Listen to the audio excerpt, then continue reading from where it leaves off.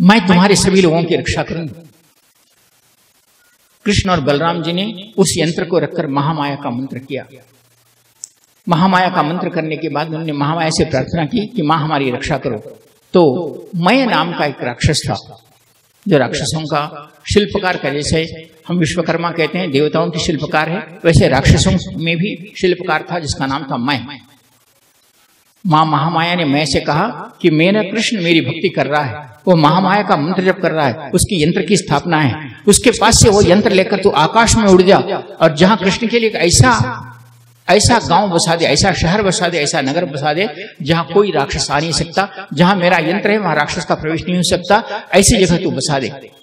उस मैंने उस श्री कृष्ण और बलराम की स्थापना की, उस यंत्र को हाथ में लिया और वे जैसे ही आकाश में उड़े, उन्होंने वहाँ से देखा कि द्वारका ही एक ऐसी चीज़ है जो समुद्र से घिरी हुई है और समुद्र के बीच टीले में उन्होंने द्वारकाधीश का उस शहर, उस नगर को स्थापन किया एक ही रात में।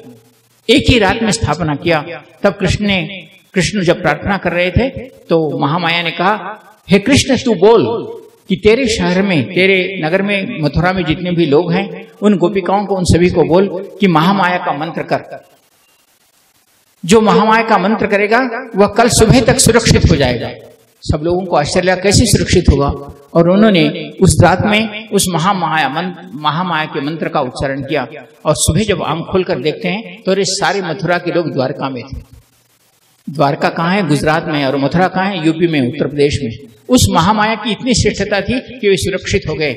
और कृष्ण भी निश्चिंत हो गए कि अब राक्षसों का अवरम मैं मथुरा, जरासंध आदि को मैं देख लेता हूँ। और उन्हें जरासंध आदि का कैसा कैसा मारा? ये भागवत में उसकी कथाएँ हैं, भीम ने, भीम, भीमसेन जी ने मारा है, उनको कैसा मरवाया? ये सारी बहुत बड़ी कहानियाँ हैं, वो बात अलग।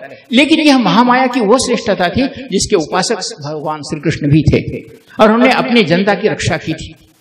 तब महामाया ने कहा कि इस यंत्र की जो अपने घर में रख के पूरा करता है, वह अपने गाँव का, अपने शहर का श्रेष्ठ राजा कहलाया जाएगा। जो इस मंत्र को करता है, उसको राज्य पद निश्चित रूप से प्राप्त होगा। तब महामाया की इस आशीर्वाद से, उस यंत्र की कृपा से जो महामाया ने कृष्ण को दी थी, आज तक अगर मैं ठीक हूँ, मैंने अगर झूठ नहीं कहता हूँ तो यहाँ सभी आप लोग हैं। तो आप लोग बताओ कि क्या यहाँ महामाया देवी का कोई यंत्र आज तक यहाँ किसी ने दिया है? या आपने लिया है? यहाँ छत्तीसगढ़ के लोग जितने भी लोग हैं। और आपको नवारणो मंत्र को छोड़कर किसी ने महामाया का मंत्र दिया है?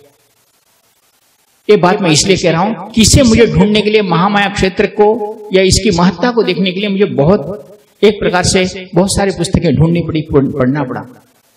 जब मुझे इसका आनंद हुआ कहते हैं कि यहाँ छत्तीसगढ़ में भी जगन्नाथ जी का मंदिर है, है। छत्तीसगढ़ के लोग बताएँ यहाँ जगन्नाथ जी का मंदिर है। तो उस जगन्नाथ जी के मंदिर के बाद यहाँ की स्थापना और महामाया के मंदिर की क्षेत्रता की दिव्यता बढ़ी और जो इस महामाया छत्तीसगढ़ लोग हों जितने भी राजा यहाँ हुए जिन्होंने भी उस महामाया यंत्र को रहस्य के साथ अपने स्थापन किया इसलिए छत्तीसगढ़ हुए यहाँ और छत्तीस राजा अपना राज्य करते हुए जीवन बिताते थे। तो उस दिव्यता को, उस यंत्र की यंत्र की श्रेष्ठता किसी ने किसी को नहीं बताई और वो उस मंत्र को भी किसी ने किसी को नहीं बताया। आज शुक्रवार का दिन है, जो राक्षसों के गुरु शुक्र जी का वार है और आज माता की पूजा विशेष रूप से की जाती है।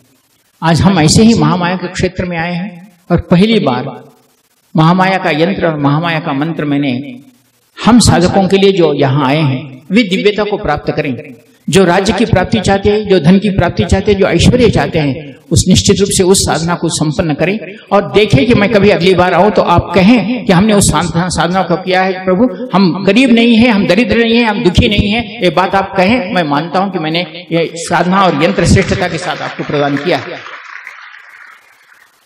मैं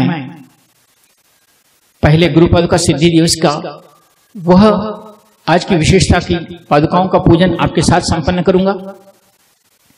उसके बाद उस महामाया मंत्र को और उस महामाया यंत्र को केवल क्योंकि वो रहस्यमय है, पूछने पर ही दूँगा। जो लोग प्रार्थना करते हैं कि महामाया, हम दिव्यता का जीवन चाहते हैं, हमारे घर में सुख शांति चाहते हैं, धन ऐश्वर्य चाहते हैं, हम एक प्रकार की श्रेष्ठता चाहते हैं, ऐसा प्रार्थना करते हैं, वही लोगों को यंत्र मिलेगा महामाया का। उससे पहले हम गुरुपाद का सिद्धि दिवस है। कहते हैं कि सायं समय में ही गुरु पादुकाओं का पूजन करना चाहिए। सुबह से हम जितना भी हो सके हमारे से स्नान आदि से शुद्ध होकर, आकर सफ़ेद वस्त्र पहनकर गुरु पादुकाओं का आज पूजन कर, जो अपने घर में गुरु पादुकाओं की स्थापना करता है, उसको हर वर्ष उस गुरु पादुका को, इन गुरु पादुका सिद्धि दिवस के दिन जो उसी मंत्र के साथ पूजा करता है, उसके घर में गुरु की स्थापना निश्चित रूप से होती ही है। ऐसा कहा गया है। अभी मैं आपको एक पंद्रह मिनट का समय देता हूँ। जिनके पास गुरुपादुकाएँ नहीं है या गुरुपालुका इंद्र नहीं है, वो सब ला लें और मेरे साथ गुरुपालुकाओं के की पूजन संपन्न करें और अपने घर में गुरुपालुकाओं को आज के दिन मार्ग शुक्ल द्वितीय को स्थापन करें और वो सिद्धि प्राप्त करें कि तुम्हारे घर में गुरु जी का वास है, ये आप अनुभव करें। ऐसे ही इच्छा रखता हुआ पहले गुरु पादुकाओं का मंत्र और साधना आपके साथ करवाऊँगा। मैं भी आपके साथ करूँगा। आप सभी लोगों को पंद्रह मिनट का समय देता हूँ। गुरु पादुकाओं के यंत्र ला ले तब तक मैं यहाँ तैयारी करता हूँ। पहले गुरु पादुका सिद्धि दिवस की पूजा और मंत्र उच्चारण और साधना संपन्न होगी। आप सभी लोग तब तक पाँच माला गुरु मंत्र जप करें जो कर रहे हैं। पाँच माला गुरु मंत्र जप करें और उसके बाद गुरु पादुकाओं को लाकर आपके सामने रख लें और उन उस पादुकाओं की पूजा करें जो आपके घर में स्थापना करना चाहते हैं। मैं पुनः आशीर्वाद देता हूँ।